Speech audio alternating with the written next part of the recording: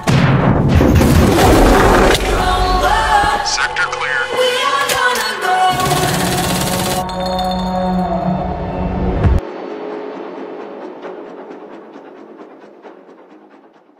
С момента релиза PlayerUnknown's Battlegrounds New State прошло уже полугода, и на данный момент игра является самой низкооцененной игрой в жанре Королевская битва и самым низким и неактивным онлайном. Почему все так вышло, давайте разбираться. За все эти 9 месяцев и 500 часов игры я разузнал все фишки, достиг ранга победителя несколько раз в сезонах, а также получил очень много халявы от самой же игры. Почему игра не заняла свой трон, хотя в свое время многие блогеры говорили, что она убьет PUBG Mobile, Call of Duty Mobile и даже Apex Mobile? Что за бред? И сейчас мы детально окунемся, как игра чуть не провалился на самом же старте релиза. Поговорим обо всех проблемах и недостатках, почему многие алды PUBG Mobile не переходят в New State и многое другое. Присаживайтесь поудобнее, подготовьте свои парашют, а мы прыгаем на дно карты Трой. И сразу хочу отметить, что я не сторонник PUBG Mobile, Code Mobile и прочих мобильных батл роялей, так как я не особо люблю играть в шутеры на мобильные устройства. Я православный майнкрафтер, и мне не стыдно. И сразу отмечу, что я играю в игру на iPhone XR. И нет,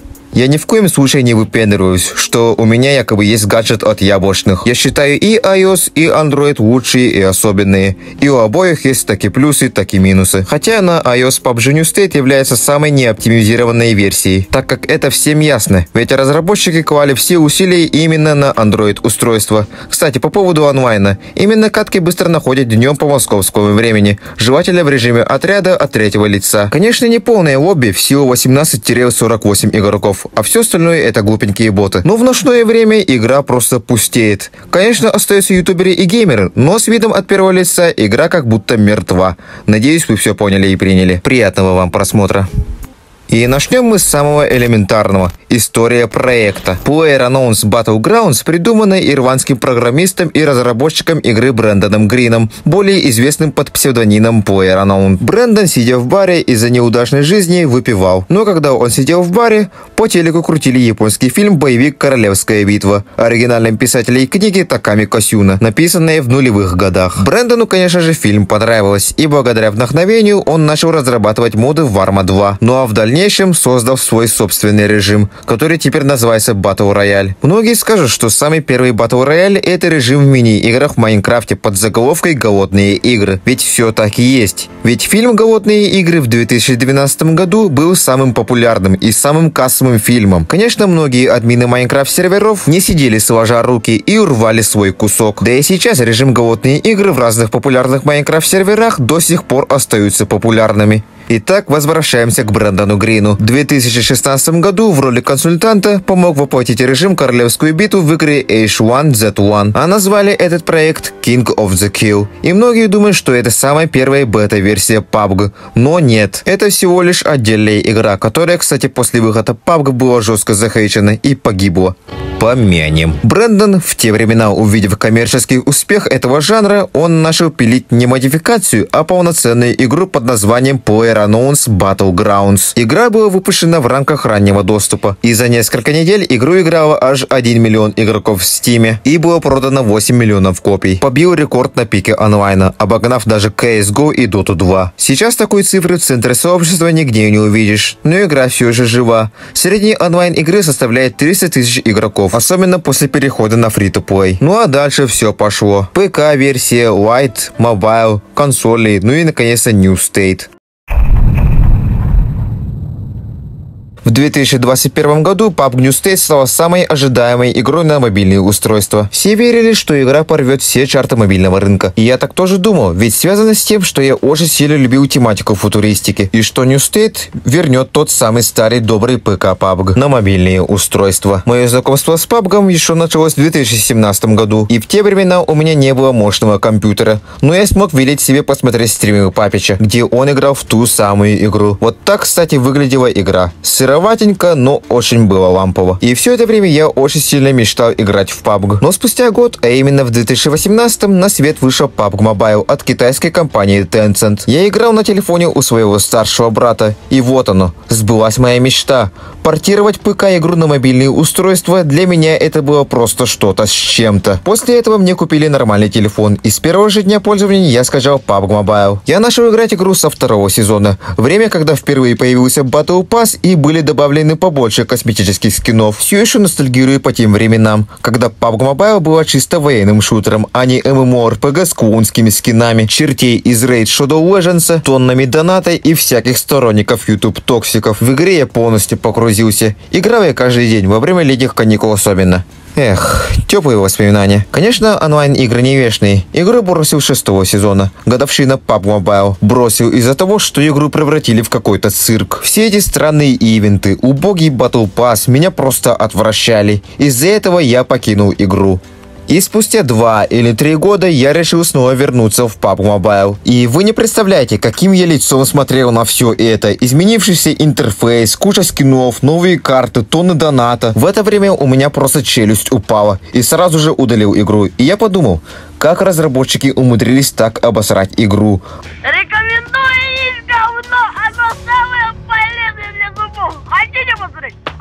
А люди в это время схавали и кушали контент от китайцев. Многие ауды и адекватные ютуберы негодовали все эти решения с Tencent и покинули игру, переезжая в другие игры. Кто-то переходил в Code Mobile, кто-то в Fall Guys, а кто-то вообще в Brawl Stars или Free Fire. Единственная адекватная версия PUBG это были PUBG на ПК, консольные версии и Lite версия. Я, кстати, лично играл в PUBG Lite на ПК. Но как все уже знают, игра закрыта. Это печально.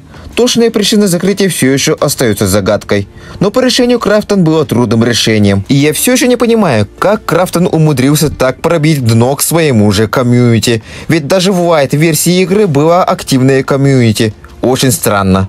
Но вот, в феврале 2021 года случилось то, чего никто не ожидал. А именно без всяких объявлений или новостей вышел тот самый трейлер PUBG New State. Все были просто в восторге от трейлера, хотя это был полусинематик и полуигровой трейлер. Лол. Все пользователи интернета с пеной у рта орали, что игра убьет все мобили и батл рояли. И спустя 6 месяцев, в июле 2021 года, Крафтон сообщила, что игра превысила 20 миллионов предзаказов, и тем более в Google Play. И если честно, по меркам того времени, такие цифры были огромными особенно для мобильной игры.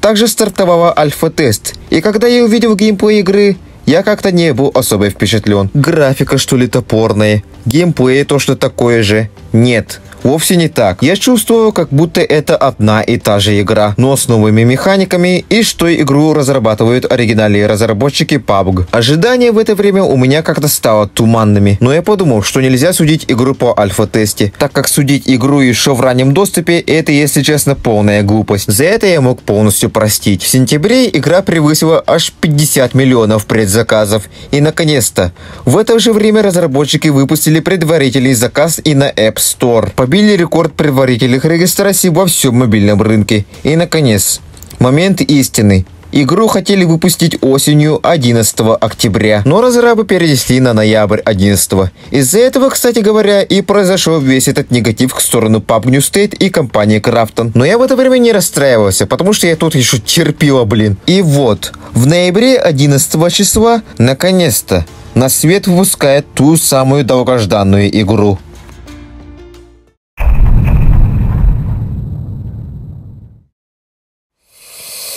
О, да, самый первый релиз игры.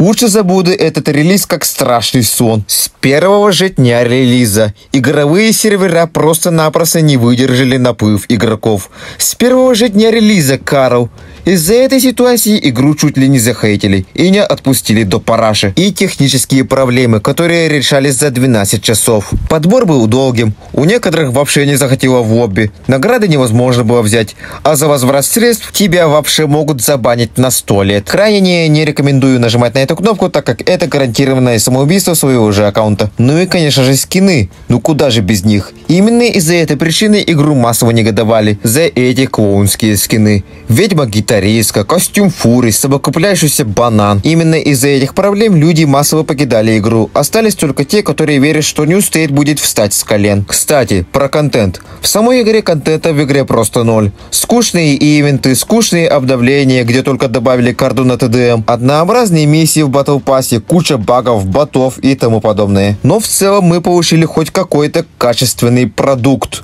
Ну, на костылях, конечно. А теперь расскажу о самом главном проблеме игры, а именно контент. Контента в игре, если честно, очень мало. Две карты королевской битвы и четыре ТДМ карты. И начнем мы с карты королевских битв. Трой – это эксклюзивная карта в игре PUBG New State. В целом, карта и детализация острова выполнена очень качественно. Много всяких приколюх, трамвая, взаимодействие между предметами в специальных локациях, узнаваемые локации второй или третьей катки и очень красивая и насыщенная палитра. В общем, карта получилась очень удачной. Ну а второе – это Эрангель, а именно Эрангель 2051. Это та же самая карта, которую мы видели уж сотый раз. Это переделанная версия Эрангеля. Самые первые карты по Air Announce Battleground Grounds. Только на сеттинг темного будущего, кругом разваленные дома, забытые всеми места и, конечно же, новые локации. По сути, это та же самая карта из 2017 -го. Нечего удивляться. А теперь карта TDM режима. И первая это станция. Это ни в чем не примечательная обычный командный deathmatch 4 на 4 игроков. Выиграет та команда, набравшая 40 убийств. Вторая это арена. Тут уже поинтереснее. Выиграет та команда, которая убьет всех своих соперников. Тут, кстати, сужается синяя зона. А в середине карты расположен дроп с ценными вещами, то есть хорошее оружие и броня третьего уровня. Третье – это путепровод, один из самых скандальных карт среди комьюнити New State а. Из-за этого начался наплыв ухода из игры, а люди хотели новую карту в королевской битве. Ведь не забываем, что PUBG ассоциирована чисто на жанров королевская битва, а тут разрабы очередной раз выкатывают карту для ТДМ режима. Путепровод точно такая же, как и арена по механикам но карта стала больше и открытой, а перестрелки — это тупо мочилово со снайперскими винтовками. И все мы знаем скандал с багом путепроводе. Кстати, разоблачение Барри есть на правом верхнем углу. Там все кратко и подробно объясняю. Ну а проще говоря,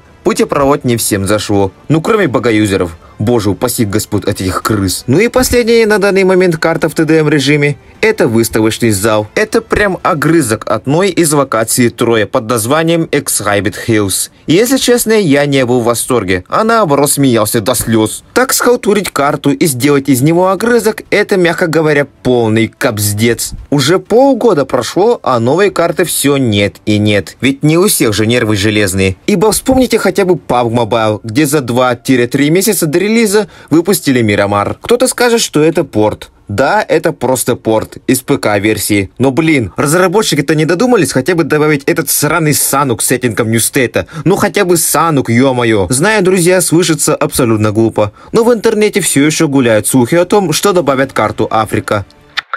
Да. Но нет, ведь разработчики добавили еще новый режим под названием Extreme.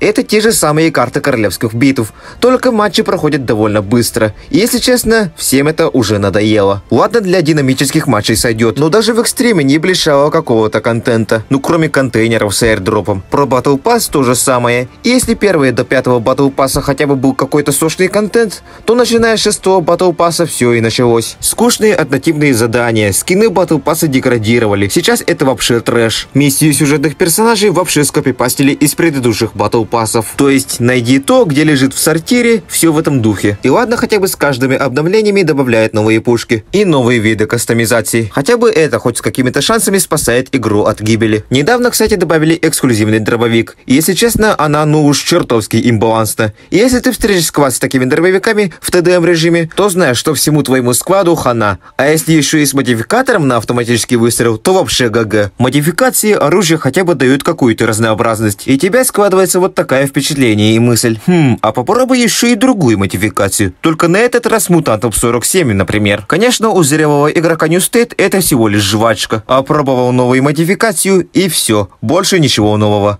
Про скины это уже совсем другой разговор. Разработчики, вы нам обещали чистую военную тематику, да? Тогда на какой черт вы добавляете гачи пса, дельфина Джотору, Мишка Фредди и прочую детскую клоунскую хрень? Были, конечно, и удачные скины, такие как Римак, Макларен и Ния. Ну а все остальное это детский хлам. Я все еще мечтаю хотя бы получить этот плащ из классической PUBG. Для некоторых эмоций это вообще бесполезная вещь. Большинство эмоций взято из ПК-версии PUBG. В интернете не первые и не последние ролики гуляют мечтает о сравнении тех же эмоций из New State и ПК-версии. И я со всеми блогерами New State абсолютно согласен. В плане контента игры одновременно и скромное, и бедное. Именно это и есть самая главная проблема игры – минимальное количество контента. Кстати, некоторые фишки, такие как система дрона-разведчика или доставки, были скоммунизжены у Warzone. А складные шиты вы прекрасно все понимаете. Система призыва мертвого товарища тоже был взят из другой игры, хотя не особо все и вся. Не скоммунизжен, а взаимствован. Чтобы оживить товарища, вам потребуется 1200 валют из катки, купить зеленую ракетницу, вызвать дрона и стрелять в небо. Единственный минус призыва товарища – это, конечно же, неуправляемый парашют. Сделана она, ну, очень криво. Из-за этого вражеский отряд могут убить бедолагу прямо на небе. Таковы вот дела.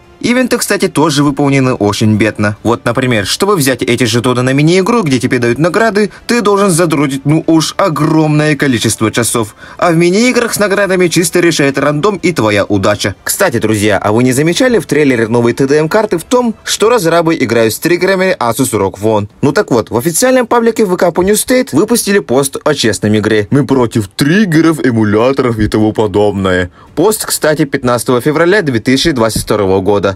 А в трейлере сами же использовали триггер. Лицемерие? Вы абсолютно правы. И еще разогрелся скандал, где официальный партнер Асквада, не стесняясь, подрубает софты для подключения мышки и клавиатуры в New State. Ага. Если он играет через софты, то почему разрабы не выпустили специальную версию для ПК-юзеров? И почему его не выгнали из партнерки? А? Так онлайн бы в два раза вырос. То есть мобильные юзеры будут перенаправлены в отдельный сервак, где играют на мобилу, а ПК-бояре будут перенаправлены в отдельный сервак. Но, к сожалению, такого никогда не произойдет, ведь они за православную честную игру. Печально, а ведь благодаря эмуляторам некоторые проекты все еще живы и спокойно стоят на ногах, такие как Call of Duty Mobile, PUBG Mobile и многое другое. Второй из самых главных причин, почему Newstate загнивает, это, конечно же, оптимизация. У Android-юзеров все идет как по маслу, и это вполне приятно. Но я хочу поговорить о iOS-юзерах, ну а точнее пользователей iPhone. Многие радикальные блогеры по Newstate прям заорали, что все, которые пытаются запустить игру на iPhone 7, телефон 2016 года, кстати, чистые глупцы. И да, это глупо, запустить игру 2021 года на старом телефоне. Но боже, люди, неужели вам настолько плевать на оптимизацию, что вы начали еще и обсирать iPhone 7 юзеров. А для того, чтобы попросить оптимизировать игру от разраба, вы просто наплевали. Да и сейчас оптимизация на iPhone вообще не сладкая. При загрузке очень много файлов, резкие фризы, баги, которые ломают весь геймплей, нагрев и прочее. И еще раз повторяю, я не выпендриваюсь. Я играл на iPhone XR. Даже на 13-м iPhone игра умудряется лагать, фризить и вести себя неадекватно. Именно из-за этого случая я играю на минимальных настройках графики. Хотя телефон может спокойно тянуть даже на максимальных настройках графики. Видимо, разработчикам настолько плевать на iOS-устройство, что они клали все усилия именно на Android. У некоторых вообще после нового обновления перестала запускаться игра в буквальном смысле, не запускалась. И да, вот этот значок, который вы видите на экране, это не проблемы с твоим интернетом. Это проблема буквально всей игры. И эту проблему, кстати, все еще не исправили. Претензий по поводу оптимизации много, но на общем плане пейзаж и окружение выглядит очень красиво. Особенно для мобильной игры. Да, некоторые текстуры мыльные. Ради оптимизации, конечно. Вспомните хотя бы релизную версию PUBG Mobile. Там тоже было мыльно, и оптимизация была полным говном. Но даже за малое количество времени они тут же исправили это недоразумение. А не устоит-то что? Полгода прошло, а оптимизации и графони вышли из чата. Сравним. Tencent компания миллиардер. Крафтон тоже. Тогда на какой черт эти корейцы не наняли опытных программистов? Непонятно. Надеюсь, что в скором времени оптимизацию пофиксят. Конечно, мечтать не вредно.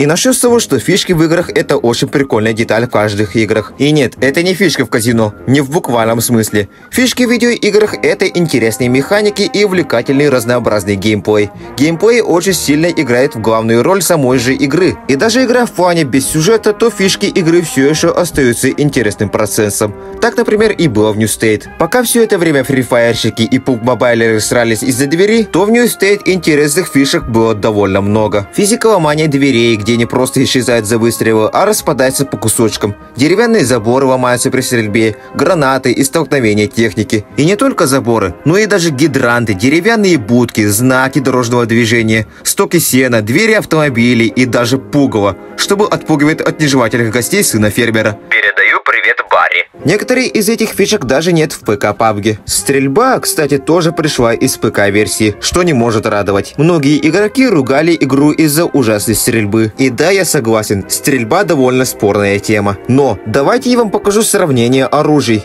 и вы почувствуете разницу.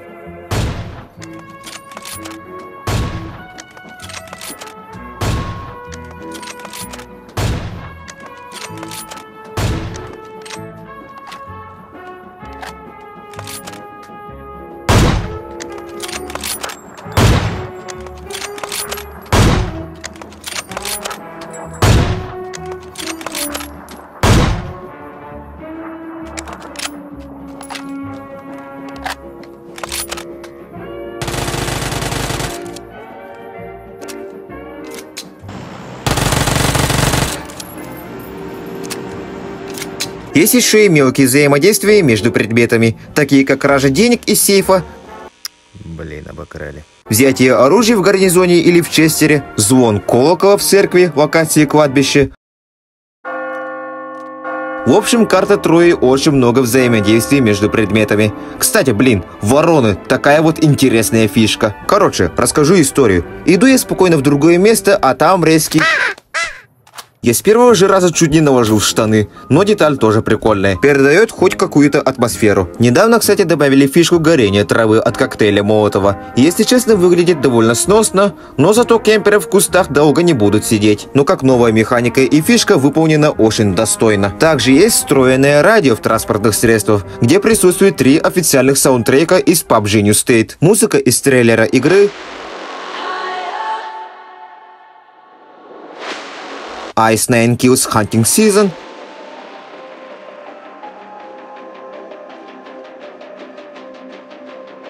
и музыка из главного меню.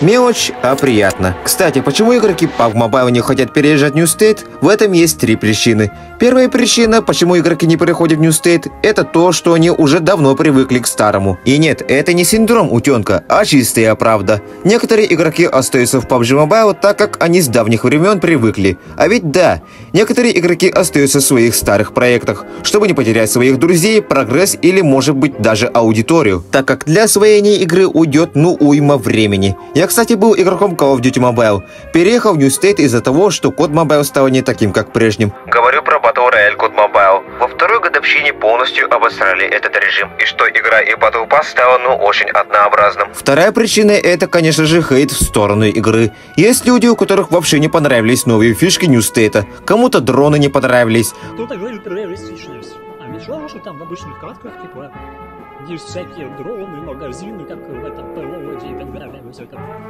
Это типа папка. Это Free Fire или Fortnite, это же не папка. Как будто вообще физику разрушения. Боже. Кстати, минус то, что ломаются заборы. Многие игроки PUBG Mobile судят New State из-за того, что она стала очень нагруженной. Не тот PUBG, хотя Mobile уже давно перестал быть похожим на тот старый добрый PUBG Mobile, и про те новые фишки игры, которые я сейчас перечислял. Ну а третья причина очень примитивная. У них просто не тянет PUBG New State. И нет, я не смеюсь, эта ситуация очень распространенная. И я надеюсь, что люди, которые когда-то мечтали переехать или просто попробовать PUBG New State, будут поиграть. И я ни в коем случае не оскорбляю людей, у которых слабые девайсы. Главное, что у них есть гаджет, общения и переписок. Еще я встречал неких пуб-мобайлеров, которые сравнивали New State с Free Fire. Есть даже видео о том, как они сравнивают эти две разные игры. Но блин, какого хрена вы сравниваете эти две игры? Любой адекватный геймер знает, что это совсем другие игры. С фишками и причинами мы разобрались, а теперь идем дальше. Если вы думаете, что комьюнити PUBG самое приятное, то вы глубоко ошибаетесь. И нет, я не говорю про ПК PUBG, где в каждых катках встречаешь дружелюбных дядей. В State, самом же релизе игры, комьюнити было ну уж очень доброе, чем PUBG Mobile. Поясняю за комьюнити PUBG Mobile. В Mobile комьюнити состоит из подростков-токсиков, которые только и шарят за эти клоунские скины, смотрят за КД, дрочат на очередные помойные battle pass ы, быкуют, якобы призывая тебя сыграть один на один, либо поясни за слова. В общем, комьюнити PUBG Mobile самое токсичные из всех мобильных шутеров. И тем более в жанре Battle Royale. А вот New State... Трудная все-таки история. Все мы прекрасно знаем ту страшную ситуацию с Россией и Украиной. И нет, я в никакие стороны не поддерживаю. Зайдите хотя бы в локальный СНГ-чат. И там творится ну прям дикий срач. Не только на тему КД или кланов, но и политосрачи. И если ты, как я, каждый день видишь, как люди срутся друг с другом, например, в Телеграме, то в New State прошу любить и жаловать. Цирк! Не-не, ну ничего же это не напоминает. В общем, даже в катках, когда начинается матч, люди буквально без всяких причин обзываются друг с другом через общий голосовой чат. Тема про политику, обзывание о том, что ваш сквад это криворукие боты, обзывание, когда тебя убивает, все, что есть в этом игре.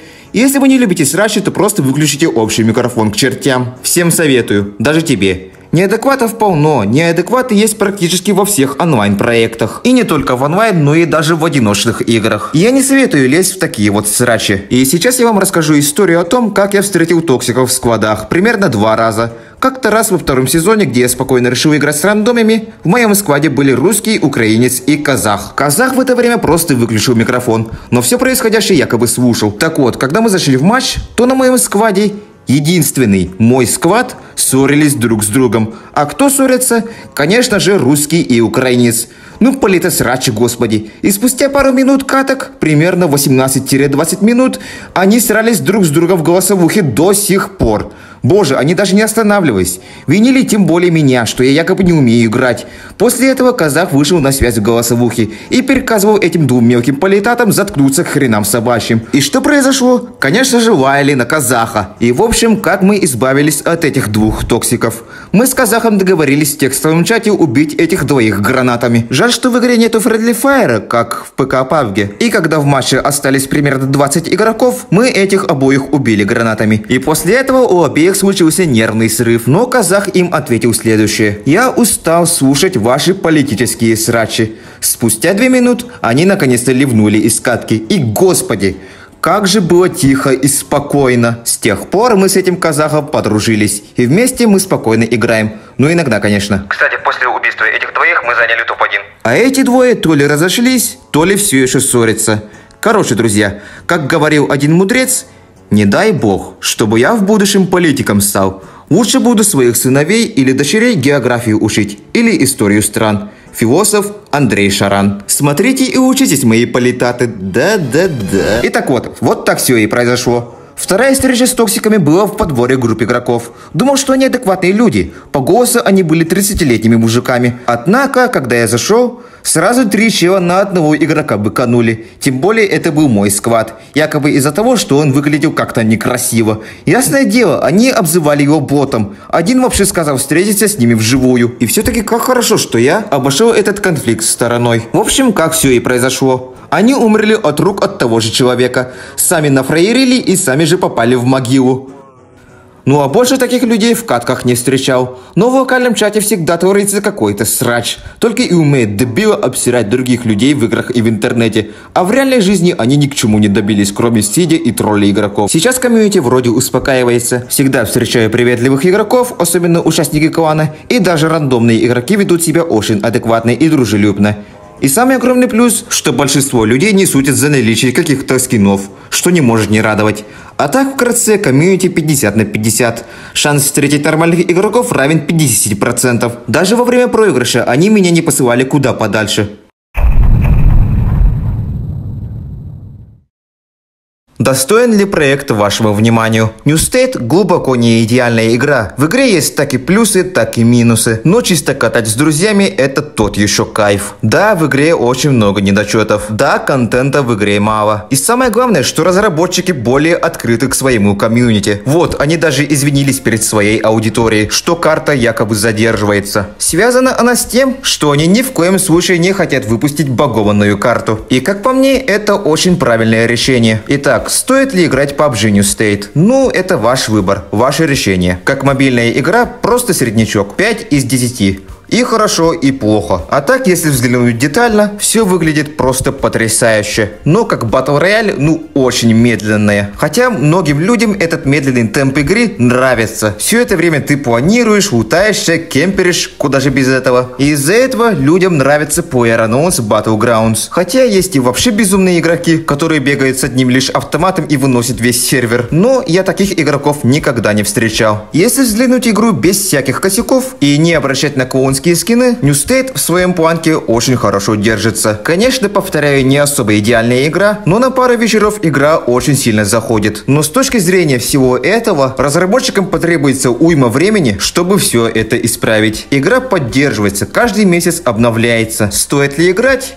Ваш выбор. И так, кстати, по поводу всего происходящего. Я отношусь ко всему абсолютно нейтрально. Не поддерживаю, не участвую в конфликтах, просто живу как есть. Также вопросы колледжа, хотя вам абсолютно это не интересно. В общем, позицию я все вам рассказал. Спасибо вам за внимание. Всем удачи и всем до свидания. До скорого.